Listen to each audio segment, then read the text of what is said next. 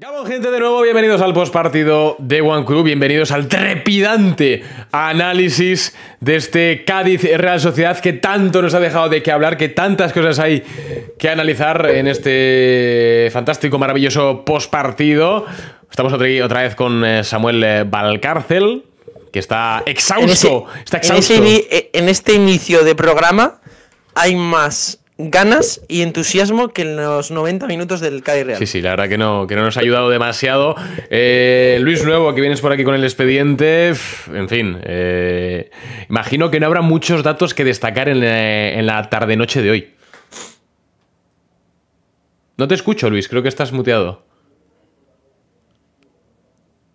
He hecho, he hecho la del profe, he hecho la de no sé nada de tecnología.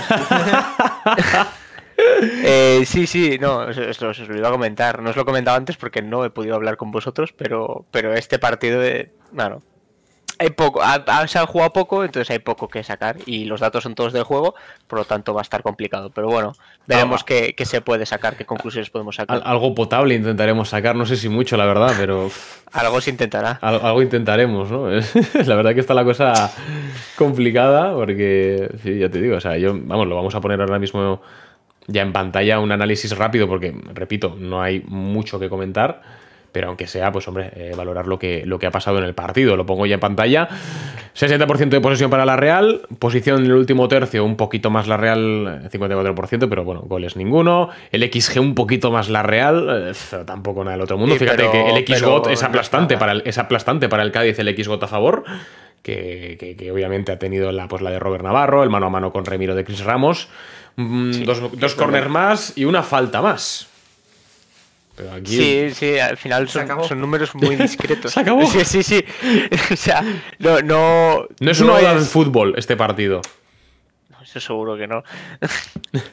no, no es que, que, que- que no haya pasado. Bueno, No te salen sí, ni es las que palabras. Luis, es que- no que es nada, increíble, ¿eh? Es que, es que quiero sacar alguna conclusión, pero no hay mucha. La- lo poco que puedo sacar de aquí es eh, que la Real, pues sí que ha tenido más el balón, pero tampoco ha sabido convertirlo en una posesión último tercio, que sería lo que al final genera peligro.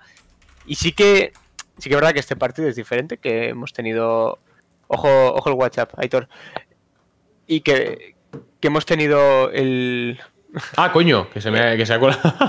claro que que se colaba. ya- ya- Sí, estaba en ello, estaba en ello, estaba hablando mientras lo preparaba. Estaba preparando. Eh, sí, bueno, lo que comentaba, que, que también hay una cosa que me está empezando a preocupar un poco y es que la Real ha pegado un bajón bastante importante, me da la sensación. Igual cuando lo veamos no es así, pero al menos por sensaciones, que la Real genera bastante menos que, que lo que nos venía acostumbrando. Sí, sí, sí, sí. Y, y- y obviamente si, si no chutamos, si no generamos, eh, no, no va a ser posible marcar. Y lo que nos tanto nos caracterizaba en los partidos, que era que siempre comentábamos, que pese a no tener tal vez un XG de 3, habiendo marcado 3 goles, teníamos uno de 1, pero el XGO sí que se, sí que, sí que se acercaba a esos 3, a esos tres goles. Y, y la Real está eh, actuando por debajo de lo que de lo que debería, no está mejorando las ocasiones que tiene. De lo que- ¿Puedo, ¿Puedo apuntar algo, mm, igual una lectura de por qué Sí. esto? Claro, Eh, Mikel Oyarzabal en el extremo izquierdo. podría ser. Mm, y la falta de Barrene. Mikel Oyarzabal una en el cosa de la mano de la otra. sí. Mm, Van, pueden ir, exacto, pueden ir. Podríamos, pueden ir- podríamos, pueden ir sí, de la mano. podríamos mirar de estudiarlo en este mini parón. El match ¿Cuántos momentum. goles lleva Mikel Oyarzabal, un tío que llevaba nueve goles esta temporada en Ya. 14 partidos? ¿Cuántos goles lleva desde que está en el extremo izquierdo? Que alguien me los diga. Sí, sí, la verdad que. que- Ah, que se lo ni- digo yo, cero goles. Sí, sí. Cero goles. cero. El- Cero el- asistencias. El match momentum nos destaca efectivamente que la Real ha terminado relativamente, relativamente bien la primera parte y que ha arrancado bien la segunda, pero hasta ahí. Luego el larguero de Zubimendi un poco está. más. Eh, Exacto. pero es que no hay nada, es que no hay nada que destacar. Y no, no, y, adem- y además, eh, además los picos de, de- de Hmm. XT, sí que es verdad que el pico de pri- inicio de segunda parte es un pelín superior Sí, a, algunos que hemos visto, pero en muy discreto a lo que, lo que es a lo largo del partido, tanto de un equipo como Hacía de tiempo otro. que no había un match momentum tan plano, ¿eh? Tan planito, Madre ¿eh? mía. Sí, sí, sí, O sea, se, mantiene así. Terrible, es, una, no se es, una, mueve. es una línea constante. Luego, los- el mapa de tiros del partido, pues tampoco descubrimos nada. Eh, No, bolas muy pequeñas porque las ocasiones son El post y de baja más. calidad. Exacto. Las, la- las, que, las que más se, se destacan son ese, ese círculo del Cádiz de color azul, que es la ocasión de Chris Ramos, que es la más clara que tiene el Cádiz. Pero poco y más. por la parte izquierda eh, del área la- de la Real Sociedad tenemos ese palo de color amarillo de, de Zubimendi y la otra cara no caigo de quién era. Hmm, sí. eh, La de Sadik. Sea, es Sadik, efectivamente, la de Sadik. La de Sadik. La red de pases, pues bueno, eh, la primera parte... Solo he podido poner la primera parte, No, código. tampoco nos vamos Pero- a perder nada en la segunda. Pero sí iba a comentar que al final, au- aunque la red de pases sea solo de la primera parte, nos da un poquito la imagen de lo que de lo que podría ser el resto. Que yo quiero destacar sobre todo ese color de las bolitas, que recordamos que cuanto más rojo, eh, menos peligro ha generado a través del pase y las conducciones. Cuanto más azul, eh, más ha generado. En gris, un valor neutro. Y, y no, y no hay Y azul. Exactamente, exactamente. No hay ningún tono de azul porque hay dos tonos de rojo y dos tonos de azul. Y, Igual alguien bueno, daltónico... jugadores que nos tenían. Ya, ya. Igual alguien daltónico destaca algo, pero así de primeras no... No, no, no. Ya, Cubo, por ejemplo, nos tenía muy acostumbrados a hacer algún azulillo en algunas partes, Ya. ya que con conducciones genera bastante peligro, pero, pero ni siquiera por ahí podemos salvarnos un Está partido, cosa- bueno, que decimos, muy discreto. Terrible, terrible. Y luego jugador destacado Remiro, no podía ser otro en el día de hoy, con sus No paradas. tengo, no tengo muchas visualizaciones preparadas para los porteros, pero bueno, por destacarlo, y, y ya que ha habido varios partidos en los que podría haber sido él el destacado y no, y no se ha hecho, pues hoy obviamente sí que se destaca, también porque se lo merece, no, no, no por Hmm, destacar, sí, no sí, porque sí. se lo deba. Termina muy bien el año, Remiro. Sí, eso seguro. Nah, eso Eh, es un poco lástima que hoy se diga que Sí. el portero ha sido el mejor porque ha sido un 0-0, pero bueno. Eh, Eso es, preocu- Pero eso es lo preocupante, ¿no? Cuando el portero es el mejor. A ver, a mí la sensación que me da este partido ya por ir. eh, es que no, es que va a ser un postpartido corto porque es que tampoco hay nada que hablar realmente. O sea, es, Es que no hay nada, Es, es un poco triste. Es un poco triste. Pero es que tampoco me voy a meter en arbitraje porque tampoco creo que la Real empate por el árbitro. O sea, creo que la Real empata porque no ha merecido ganar. O sea, no, no por otra cosa. Yo, la sensación que me da. Yo, cuando termine el partido, la sensación que tengo es que encima el Cádiz ha merecido más que la Real. Ya, y Es, la- yo es- es con la este triste sensación que se me queda. Yo a partir de los datos, la conclusión o a donde podemos llegar es que sí, que el empate es totalmente merecido y, y si me tuviese que mojar entre uno u otro no te sabría qué decir, pero es que para mí me...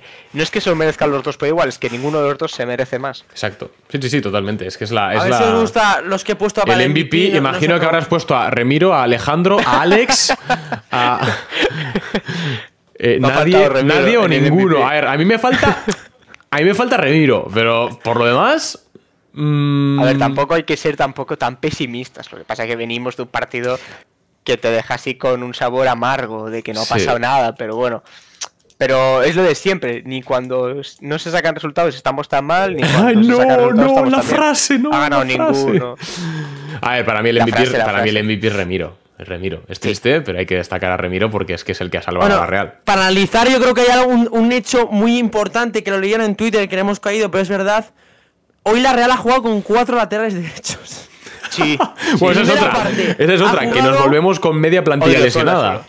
Primera parte con la que Odriozola, faltaba. entra Traoré por Odriozola en la segunda parte en el descanso, se lesiona Traoré y entra Richard Bustondo para sustituirle, se lesiona Richard Bustondo y entra Ayer Muñoz para sustituirle, es, de- es escandaloso. Es que es, la- es Otra vez en mi vida lo he visto, ¿eh? Ser de la Real este es partido es una oda al fútbol, así de claro. Totalmente, ¿eh? Fútbol papá. El que no le gusta este partido no, no sabe. No, de- no de sabe de fútbol, no sabe, no, no, no aprecia el, Eh, buen, el buen balompié. MVP Remiro, ¿a- ¿alguna propuesta más? No, es que creo que no hace falta ni votarlo, Samuel. Yo- Hoy se lleva solo yo Remiro, a la mierda. Nombro a.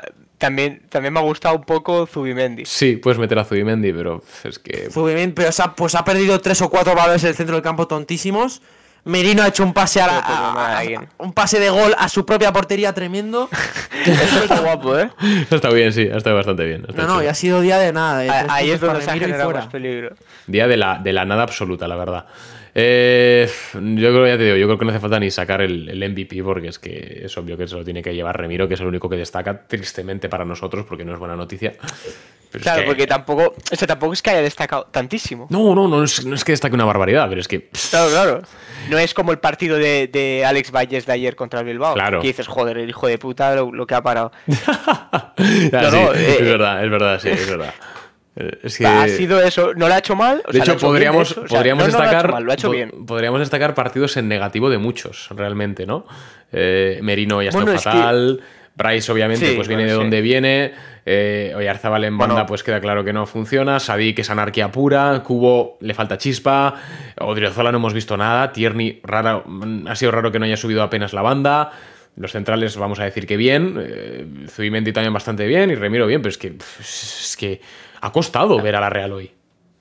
Bueno, también es verdad que era un partido que no acompañaba mucho. El Cádiz ya hemos visto cómo ha jugado. Eh, respirabas y, te dejaban un recado por si acaso. Los pobres cadistas, respirar, los pobres cadistas, como llevaban cuatro empates a uno seguidos en la crónica, han puesto 1-1, punto en casa para despedir el 2023. No se han enterado que este, este empate no ha sido a, uno, ha sido lo, lo, tenían ya, lo, tenían ya, guardado, ya predeterminado. Decían, bueno, ya. Tiene la crónica preparada de casa para trabajar menos. Nosotros también podíamos haber hecho lo mismo, ¿eh? porque últimamente, vamos, salvo Villarreal. Hombre, a ver, yo, por rescatar algo positivo para ir ya dando un poco de cierre a este postpartido, yo destaco la eficacia defensiva, entre comillas, eh, de los últimos partidos. La Real, desde que vuelve del parón de selecciones, eh, juega siete partidos, creo que son, de los cuales encaja solo un gol contra Osasuna. Yo me voy a quedar con eso. Que por lo menos volvemos a la relativa eficacia que teníamos en defensa de, otros años. Yo voy a mirar el Zamora, pero Remiro iba segundo y va a cambio de estar el primero, ¿eh? Pues fíjate cómo estamos.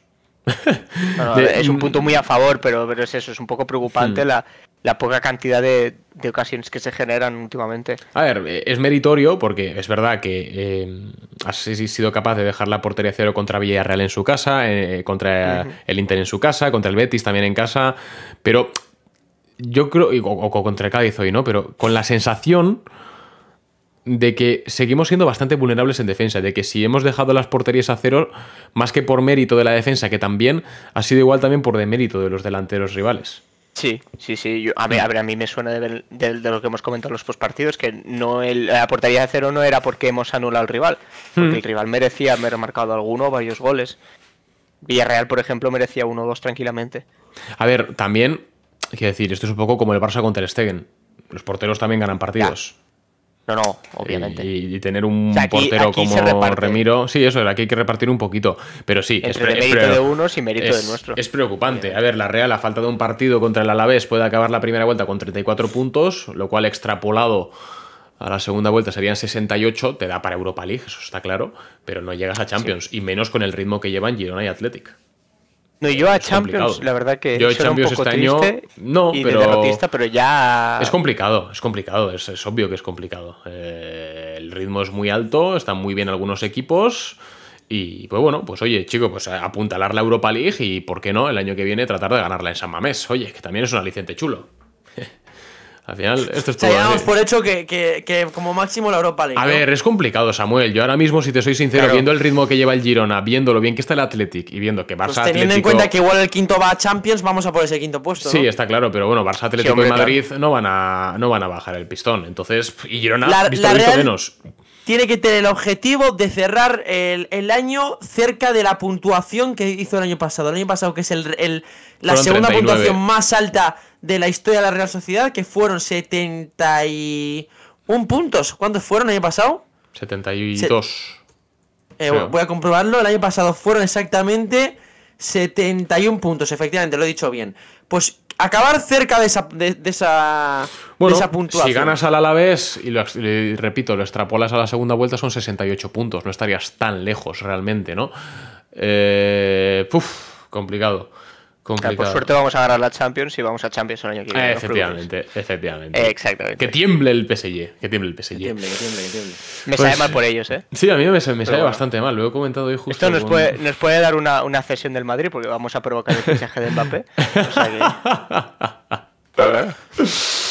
Bueno, señores. señores. Mira, justo, Samu y yo nos hemos coordinado. Bueno, señores, eh, hasta, Aquí, hasta, Aquí, el postpartido. Es que eh, es triste decirlo, pero es que ha sido un postpartido flojito, pero porque el partido ha sido.